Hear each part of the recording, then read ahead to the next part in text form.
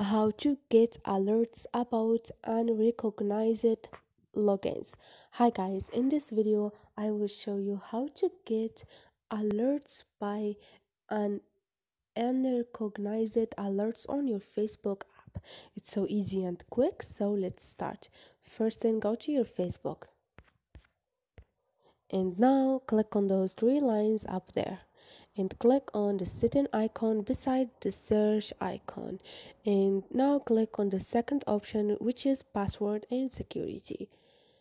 Now you have to scroll down until you find get alert about unrecognized logins.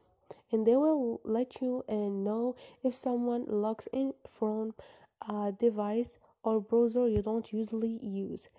Click on it and this is it turn off your facebook notific turn on your facebook notifications or your email. And this is it guys. Hope this video was helpful to you. And if you liked the video don't forget to subscribe and like